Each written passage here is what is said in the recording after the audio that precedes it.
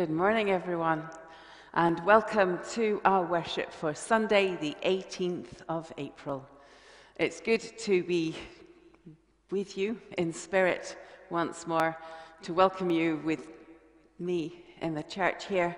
Today, I'm joined by John and Sandy and Molly, who will be taking part in the service. Harry is at the organ, and Alistair is running the desk.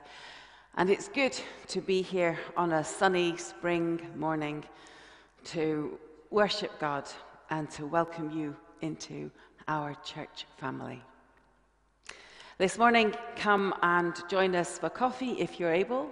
The Zoom room will be open from 11:30, and we'll be having our normal coffee and catch up.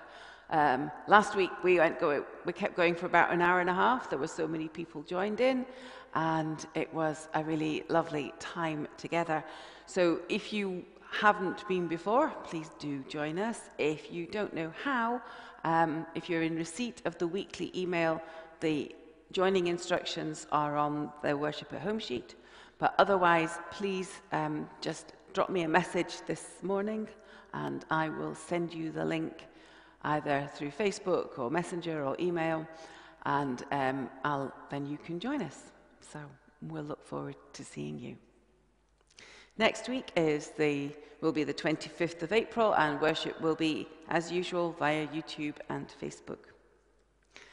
The Kirk session will meet um, uh, a week from Wednesday. That's Wednesday, the 28th of April, at 7:30 in the evening, and that again is via Zoom and the Larbert East midweek service on the 29th of April, so that's a week from Thursday, is the one, the April one that I will be leading, and so I would encourage you to, to come and watch that. Again, that's a live stream rather than in person worship, but hopefully um, the following week, the hope is that um, as once we get into May, that Larbert East will be open for in-person worship at their midweek services. And as soon as I've got the update on that, I'll share all the information with you to do that. Um, again, it's pre-booking as it would be if we were open as well. Our midweek reflections will continue on Facebook at noon, Tuesday and Thursday, and we'll look forward to um, not chatting together, but the check ins and the, um, the name calling that I put out um, all happens live on Tuesday and Thursday. My thanks to John and Sandy and Molly for joining me this morning to make our worship complete. As we prepare for worship, Let's pray. Risen God, receive our worship this day. Wherever we are, we join together to pause, to reflect, to set this time apart for you. Receive our prayers, our praise, our words, our thoughts, all that we are, all that we have all that we give. Receive us, we pray, today and always. Our introit this morning is As we are gathered, Jesus is here.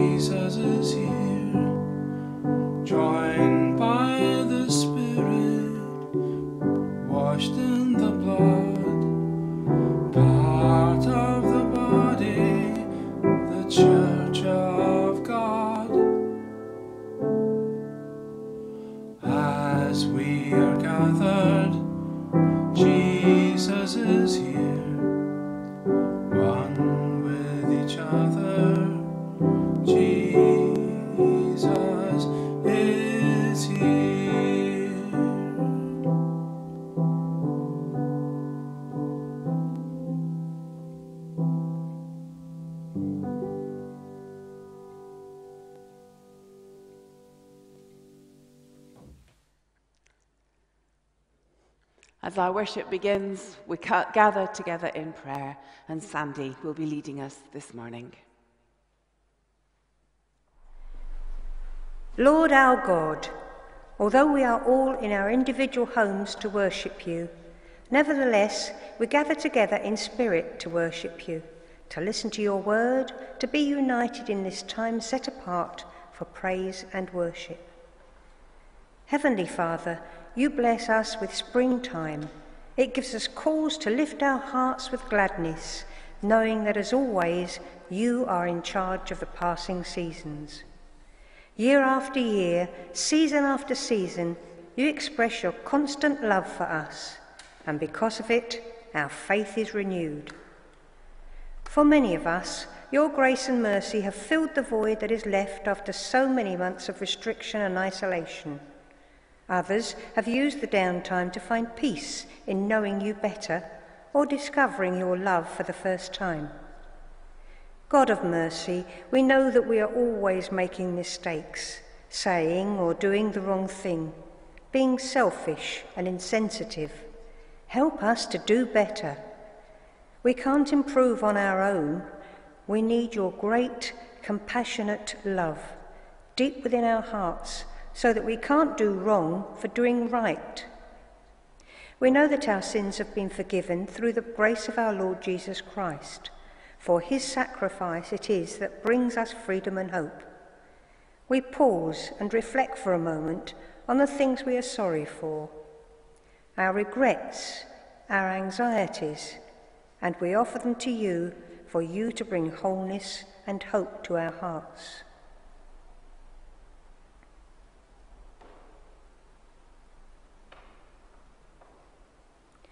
All our prayers we offer in the words your Son taught us. So together, let us pray.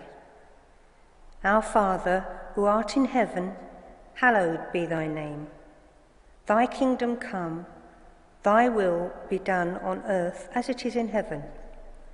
Give us this day our daily bread, and forgive us our debts as we forgive our debtors. Lead us not in temptation but deliver us from evil. For thine is the kingdom, the power, and the glory forever. Amen.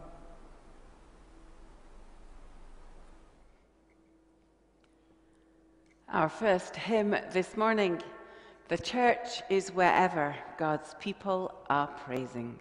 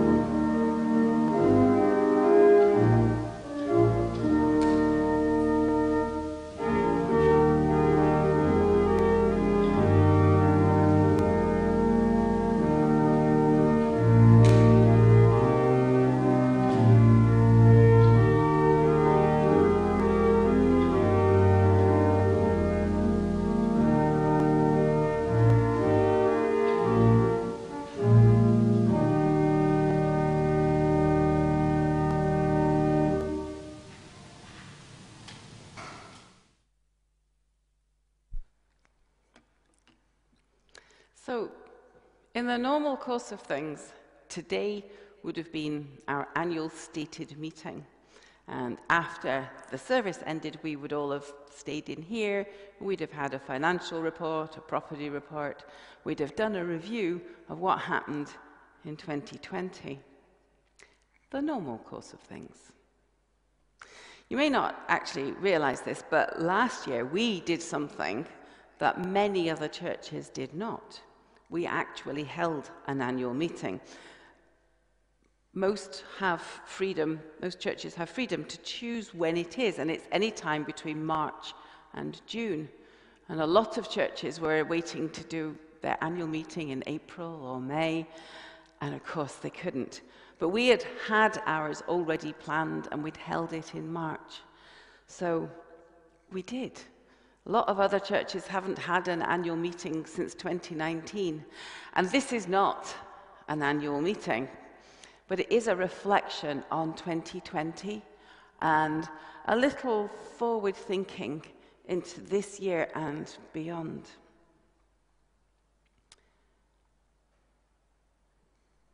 Back in March, when we had our annual meeting, just before the lockdown, before the whole world changed, 2020 was a year that had begun in hope we started a new journey. I was your shiny new minister, and you were my shiny new congregation. I'd had almost exactly five months of exploring Larbert and visiting and attending meetings, leading worship, and generally beginning to find my way about before it all stopped. The final service in the church was Sunday, the 15th of March. It was a communion service, and it really wasn't a normal service. Um, the elders who were serving communion were wearing gloves. There was hand sanitizer everywhere. We had wipes passing up and down the, the, the pews. It was, and I had been having nightmares about how we were going to do it. Because we all had now in the back of our mind that something was going to happen and things were going to have to change because this strange virus that nobody really knew an awful lot about was getting worse. My first online service was the following week, Sunday, the 22nd of March. It was a very brief affair during which I read out the words of a hymn and gave a short reflection and some prayers. I think it took about 15 minutes altogether because we didn't really know what to do. And that was the first time I'd ever done anything live on Facebook. Oh, how things have changed. As lockdown progressed, so did the online presence and what we offered you. Daily reflections, weekly worship, both online and via post and email, became our new normal. This Sunday service, as we began to build it up, grew from the 15 minute short reflection to 20 minutes to half an hour to 45 minutes. Now we're back up to virtually a full hour again because we've worked out how to do things. We can offer you a virtual choir. We've worked out how to safely record people singing. So there are lots of new ways for us to do things, lots of new ways for us to explore our faith, our relationship with God, to find new ways to worship. One of the best things that happened last year was that the list of people who received the worship at home sheet grew week on week. And now there are more people than ever who get to worship with us at home, but with the Larbert West Church family. They read the same words that you hear me speak. They feel a new connection. And for some people, they hadn't had any of that sort of connection with church for years. I'm not going to rehearse now, blow by blow, every single thing that we did last year. But I am going to give thanks for the ingenuity, the creativity that enabled a small team of faithful church members to work to create and share both worship at home and the weekly YouTube service and making sure that Westwards and the monthly prayer focus all continued to be shared, to be delivered in all sorts of different and innovative ways. And of course, the quiet but wonderful and essential card ministry that makes sure that people are remembered on significant anniversaries, at times of bereavement, and for special family events. This is the team, our team. These are all God's faithful people. And together we are blessed. And that blessing is shared with all who read or watch our services. At the tail end of 2020, we managed four in person services in church. And so long as all continues the way it's going right now, we pray that before long we'll be able to do that again. Initially, of course, there will continue to be restricted access. But we do pray that soon, very soon, we will all be together again, singing, praising God, sharing the good news, being the church. So watch this space for dates, for times when we can begin to gather together. Now, for your entertainment, here are a few of the moments that you did not see from 2020, known as the blooper reel.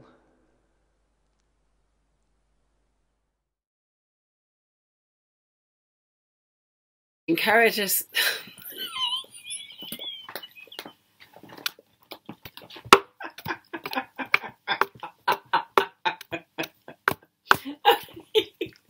Stupid dog.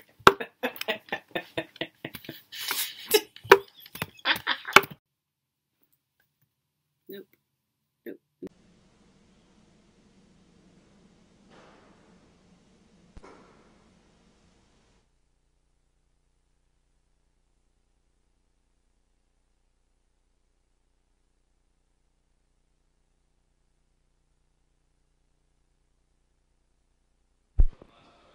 Okay. Okay, no, that's fine. Just so I know. Right.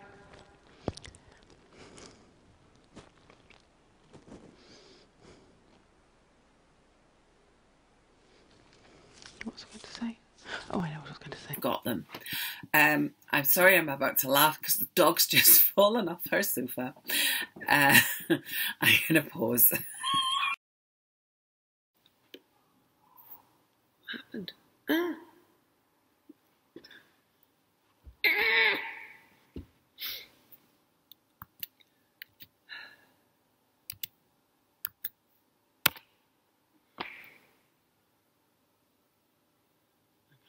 That. Necessarily to do with travel, although it could be. Um, going. God's sake.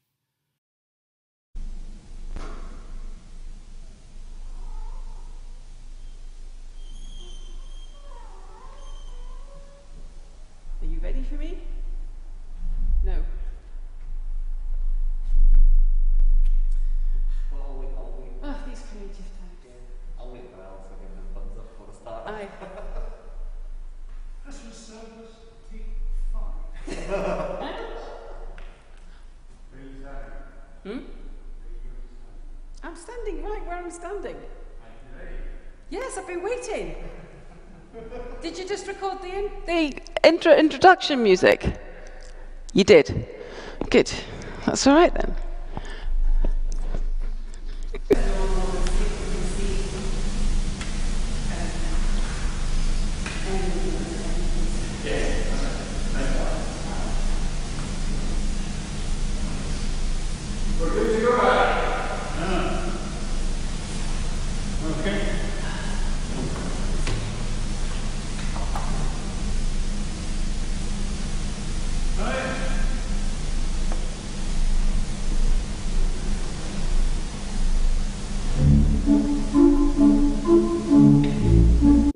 Find ourselves here in our own homes.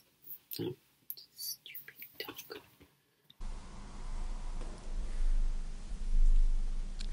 Hello and welcome to everyone joining us online, wherever you are and whatever time you watch.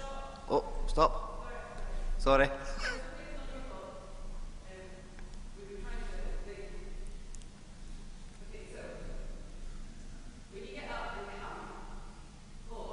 Okay. Okay. Do you want me to go back?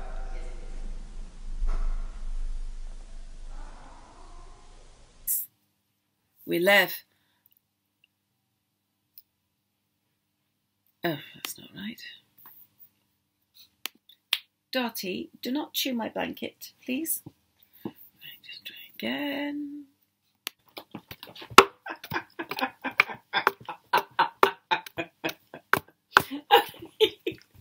Stupid dog.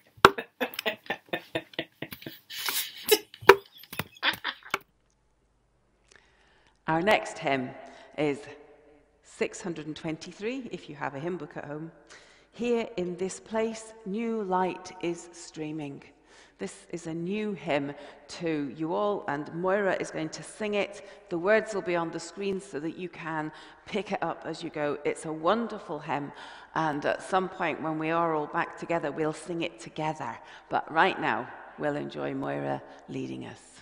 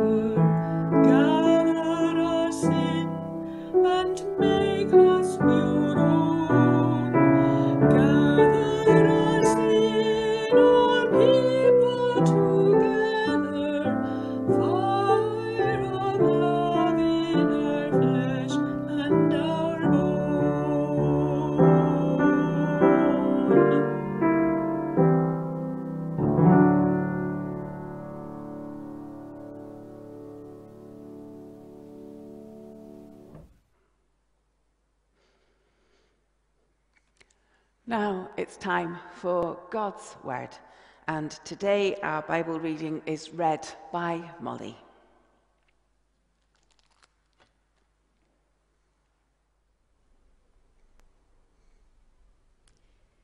This morning's reading is from Luke chapter 24, from verse 36 to 48. While they were still talking about this, Jesus himself stood among them and said to them, Peace be with you. They were startled and frightened, thinking they saw a ghost. He said to them, Why are you troubled? And why do doubts rise in your minds? Look at my hands and my feet. It is myself. Touch me and see. A ghost does not have flesh and bones, as you see I have. When he had said this, he showed them his hands and feet. And while they still did not believe it, because of joy and amazement, he asked them, Do you have anything here to eat? They gave him a piece of broiled fish, and he took it and ate it in their presence. He said to them, This is what I told you while I was still with you. Everything must be fulfilled that is written about me in the law of Moses, the prophets, and the Psalms. Then he opened their minds so they could understand the scriptures. He told them, This is what is written the Christ will suffer and rise from the dead on the third day, and repentance and forgiveness of sins will be preached in his name to all nations, beginning at Jerusalem. You are witnesses of all these things. Thanks be to God for his word to us today. It's time to sing again now, and our next hymn, Seek Ye First the Kingdom of God.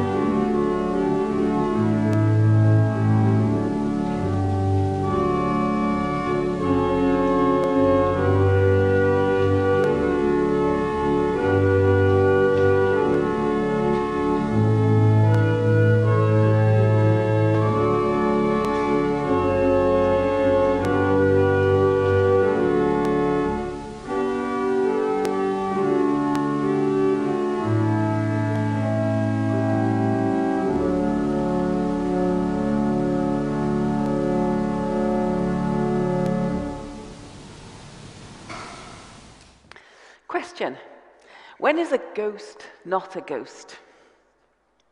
Answer When he's flesh and blood, eating, drinking, touching, speaking, being your friend. Last week we heard about Thomas. Not doubting Thomas, as John told us, but trusting Thomas. This week, we hear that the other disciples doubted too. And Jesus asked them, Why do doubts arise in your hearts? Then, after eating with them, being with them, showing them that indeed it really, really was Him, He gave them this charge. Repentance and forgiveness of sins is to be proclaimed in my name to all nations, beginning from Jerusalem. You are witnesses of all these things. You are witnesses of all these things. And thus they began, slowly, slowly, to share the news. Jesus was alive. Jesus really was alive, and God has conquered death. And through God's action, all people now have hope. Sin will be forgiven, and life, life can change forever. Now, this, of course, happened 2,000 years ago, and we are here now in 2021. We are a church that is witnessing a different sort of change. Falling numbers, a lack of ministers, too many buildings, and the anxiety that comes from knowing that change is coming. Yet we have reason to be hopeful. In the past 12 months and more, we have proved that we can go on being the church out with a building. We have shown that we can work with others, that we can find new ways of being the church. I know we have missed much too. But I have to tell you, reopening our buildings will not take us back to where we were before. If it did, I actually feel that we wouldn't have learned anything at all from this year of pandemic. There is so much to be thankful for. There is so much to mourn. And there is so much more change ahead. I truly believe that God has called me here for a purpose. And I'm still trying to work that out, trying to see what lies ahead. But this I know. If you have felt a new connection to your church family in the past year, we will work hard to keep that going, to maintain it. If you have tried something new, found new ways to worship, found new ways to stay connected with loved ones. We will work hard to build on that new beginning, to keep it going. We do not know what is coming, but we do know that things are changing. The Larbert and Stenhousemuir area cannot sustain six separate congregations in six separate buildings that it currently has. There are not the funds, the resources, the personnel to make that happen. But as long as the gospel is proclaimed and God's people are connected to each other in God's name, then there is always hope, and there will always be hope. We may be like those disciples on the beach, doubting, unsure, anxious, afraid. But we also know that Jesus is alive and with us every step of the way, just as he promised he would. So we can, we will look forward in faith. We can and we will trust in God's plan, for we are God's people in our community. And God is with us every step of the way. Amen. And if you hadn't worked it out, our next hymn is Look Forward in Faith.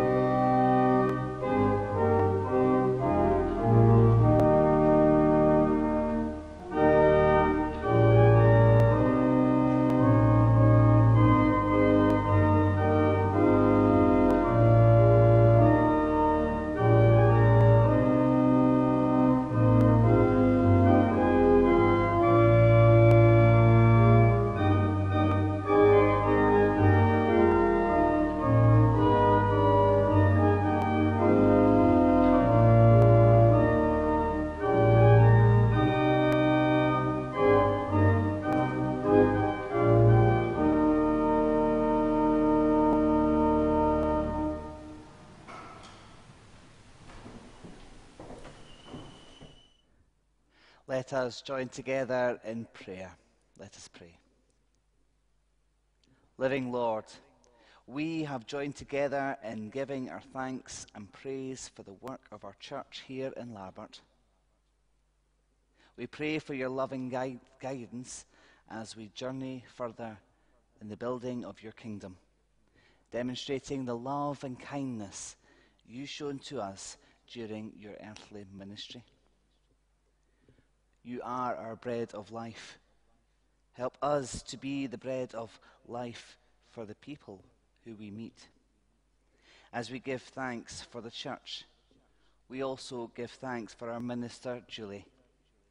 Julie has been able to lead us throughout this year, guiding us and encouraging us to continue our ministry. In moments of wonder and unexpected changes, our senses are disrupted by the extraordinary. So that suddenly we see you standing in our midst, speaking words of peace and inspiring your world to discover the possibility of the kingdom of heaven in the ordinary of the world. Help us to enjoy our moments of wonder. God, how many people Jesus met. He loved them all.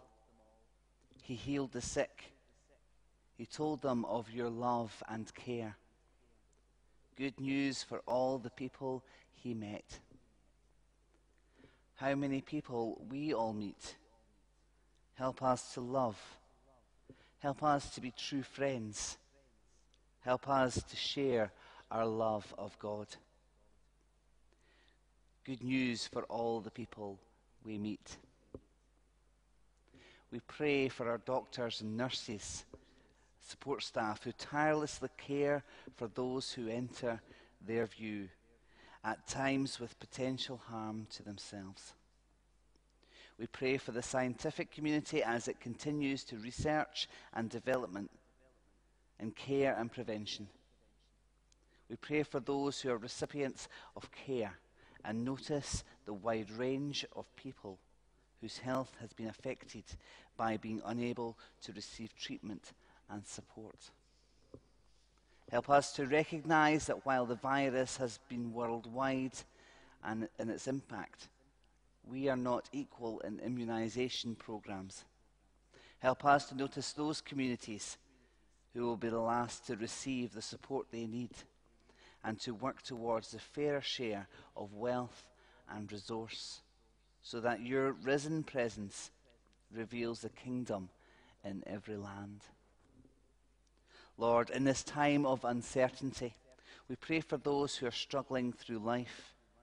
May they know your presence and guide them by your hand. We pray for Her Majesty the Queen, the royal family, and all those who are experiencing loss of a loved one. May they know your comforting nature. You are the Lord of all human life. Even as we meet for worship, the world goes on. People live in sadness. Children are robbed of innocence. People walk in fear on the streets. The unemployed join queues. Even as we meet for worship, the world goes on. People live their lives in joy. Children laugh, play, learn. Communities are built on justice, love, and care. Students learn, people train, and jobs are found. Lord, as we meet together for worship, give us a renewed solidarity with all your people as we weep their tears and share their joy. Renew our hope and theirs. Amen.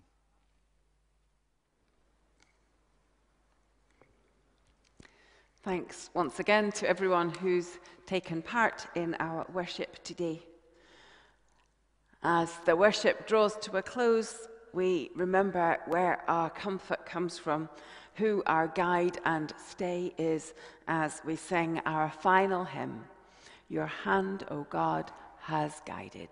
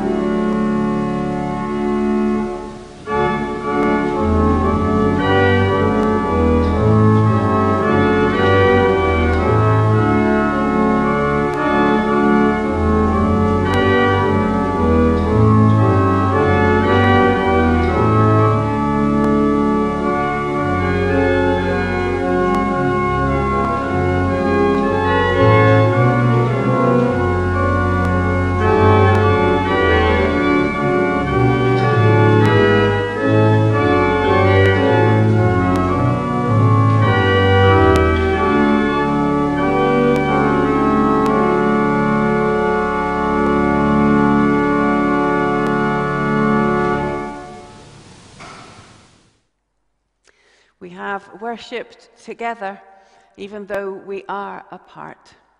We have listened to God's word, we have sung God's praises, and we have glimpsed the future.